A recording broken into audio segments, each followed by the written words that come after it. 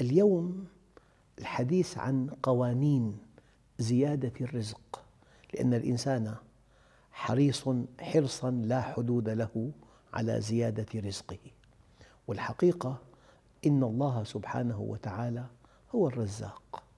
إن الله هو الرازق ذو القوة المتين ولأنه رازق وضع قواعد ثابتة نجدها في كتاب الله وفي سنة نبيه صلى الله عليه وسلم لزيادة الرزق فالذي يرى أنه لا بد من أن يزداد رزقه عليه أن يسلك القواعد التي شرعها الله عز وجل لا أن يسلك طريقا آخر.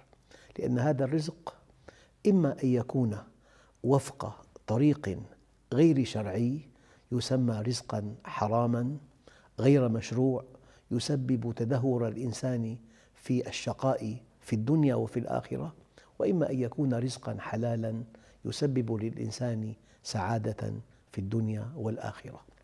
أيها الإخوة الأحباب القانون الأول تقوى الله عز وجل أي طاعته. قال تعالى ومن يتق الله يجعل له مخرجا. أحيانا كلمة مخرج توحي أن الأبواب كلها مغلقة. فحينما يتساءل الإنسان من أين المخرج لحكمة بالغة بالغة يغلق الله جميع الأبواب ويفتح باب السماء حتى يتوجه الإنسان إلى الله عز وجل. فمن يتق الله يجعل له مخرجا ويرزقه من حيث لا يحتسب. فمن كان يعاني من ضائقة مالية وهو مقيم على مخالفات شرعية الحل الوحيد أن يتقي الله فيزيل كل مخالفة ويأتمر بما أمر الله وينتهي عما نهى الله عنه. وهذه الآية زوال الكون أهون على الله من من ألا تحقق لأنها السهم الأخير في حل مشكلات الإنسان. ومن يتق الله يجعل له مخرجا من كل ضائقة يجعل له مخرجا من الضيق المادي يجعل له مخرجا من الضيق المعنوي يجعل له مخرجا من الإحباط يجعل له مخرجا من مشكلات قد لا تحل. ومن يتق الله يجعل له مخرجا. هذا قانون أول. أما القانون الثاني آه، الله عز وجل يقول ومن يتوكل على الله فهو حسبه. أنت حينما تتوكل على الله لا بجوارحك تسعى جاهدا. للأخذ بالأسباب وبعدها تتوكل على رب الأرباب. تسعى جاهدا لإغلاق كل ثغرة في حياتك وبعدها تتوكل. لذلك الإنسان ينبغي أن يأخذ بالأسباب وكأنها كل شيء ثم يتوكل على الله وكأنها ليست بشيء. لكن الله جل جلاله يقول ومن يتوكل على الله فهو حسبه. لكن المسلمين حينما ضعف عندهم الإيمان بالله وحينما تخلفوا عن فهم حقيقة دينهم جعلوا محل التوكل الجوارح مع أن محل التوكل هو القلب.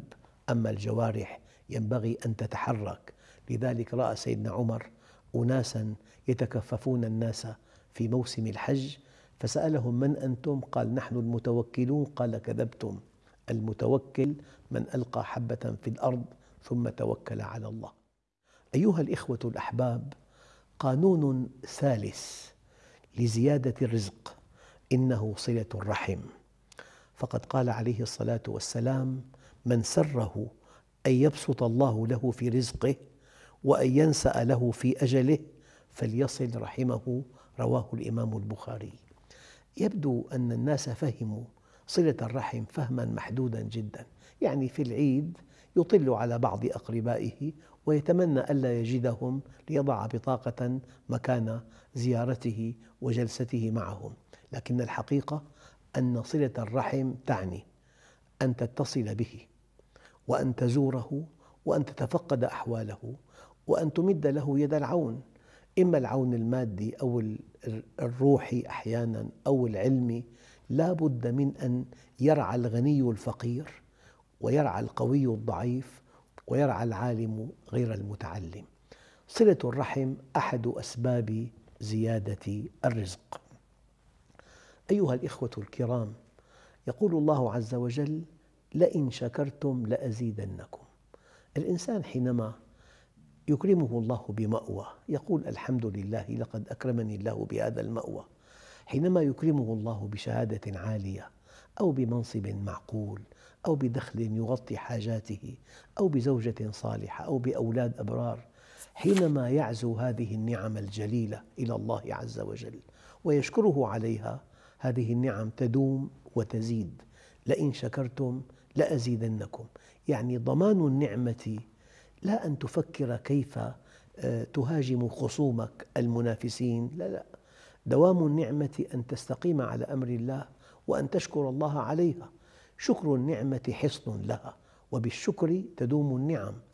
والنعمة حينما تعزوها إلى الله أولاً ثم يمتلئ قلبك امتنانا منه ثانياً ثم حينما آه، تقابل هذه النعمة بخدمة الخلق ثالثاً كقوله تعالى اعملوا آل داود شكرا فأنت شاكر لها وهذه النعمة لن تتحول عنك. إن الله لا يغير ما بقوم حتى يغيروا ما بأنفسهم. أيها الإخوة الكرام ورد في القرآن الكريم فقلت استغفروا ربكم إنه كان غفارا يرسل السماء عليكم مدرارا ويمددكم بأموال وبنين ويجعل لكم جنات ويجعل لكم أنهارا. فما دام الإنسان معترفا بذنبه مستغفرا لربه تائبا من ذنبه فهو في بحبوحة بحبوحة زيادة الرزق. فقلت استغفروا ربكم إنه كان غفارا. يرسل السماء عليكم مدرارا ويمددكم بأموال وبنين ويجعل لكم جنات ويجعل لكم أنهارا. وما كان الله ليعذبهم وأنت فيهم. أي ما دامت سنتك قائمة في حياتهم في بيوتهم في أعمالهم في كسب أموالهم في إنفاق أموالهم أو وما داموا يستغفرون وما كان الله معذبهم وهم يستغفرون هم في بحبوحة وفي خير وفي عطاء. أيها الإخوة الكرام أما القانون الذي يلي هذا القانون وهو الصلاة فالصلاة عماد الدين. من أقامها فقد أقام الدين ومن تركها فقد هدم الدين. ولا خير في دين لا صلاة فيه. يقول الله عز وجل وأمر أهلك بالصلاة واصطبر عليها. لا نسألك رزقا نحن نرزقك. بيت تؤدى فيه الصلوات يتلى فيه القرآن في انضباط انضباط أخلاقي انضباط اجتماعي. العورات مستورة. هذا البيت مرزوق ومحل تجاري تؤدى فيه الصلوات وفيه أمر بالمعروف ونهي عن المنكر وفي انضباط أخلاقي وفي غض بصر. هذا المحل أيضا مرزوق عند الله. أيها الإخوة أما الصدقة آه، الله عز وجل يقول وكلمة رائعة جدا في هذه الآية من ذا الذي يقرض الله قرضا حسنا؟ أية خدمة لأي مخلوق كائنا من كان هو قرض لله عز وجل. من ذا الذي يقرض الله قرضا حسنا فيضاعفه له أضعافا كثيرة. لذلك أحد أسباب زيادة الرزق أن تحسن إلى مخلوقات الله عز وجل. والبيت الذي يتلى فيه القرآن الكريم بيت مرزوق. يقول عليه الصلاة والسلام إن البيت الذي يقرأ فيه القرآن يكثر خيره والبيت الذي لا يقرأ فيه القرآن يقل خيره. بل إنه من غرائب الأحاديث أن التوسعة على العيال أحد أسباب زيادة الرزق. ليس منا من وسع الله عليه ثم قتر على عياله. لذلك ابن آدم أنفق أنفق عليك. أنفق بلال ولا تخش من ذي العرش إقلالا. أيها الإخوة وقانون آخر من قوانين زيادة الرزق وهو النكاح. فقد قال عليه الصلاة والسلام ثلاثة حق على الله عونهم المجاهد في سبيل الله والمكاتب يريد الأداء والناكح يريد العفاف. ومن بحث عن الحلال أكرمه الله. يعني حق العباد على الله أن يعين الشاب إذا طلب الحلال. قانون آخر هو طلب العلم. من طلب العلم تكفل الله له برزقه. من طلب العلم تكفل الله له برزقه. هذه بعض القوانين التي تزيد الرزق والإنسان حريص حرصا لا حدود له على زيادة رزقه